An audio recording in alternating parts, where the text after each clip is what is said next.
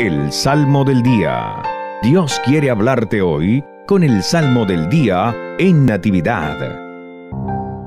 Jueves 11 de febrero, la iglesia celebra a Nuestra Señora de Lourdes. Salmo 127. Dichoso el que teme al Señor. Dichoso el que teme al Señor. Dichoso el que teme al Señor y sigue sus caminos. Comerá del fruto de su trabajo, será dichoso, le irá bien. Dichoso el que teme al Señor. Su mujer como vid fecunda en medio de su casa, sus hijos como renuevos de olivo alrededor de su mesa. Dichoso el que teme al Señor. Esta es la bendición del hombre que teme al Señor.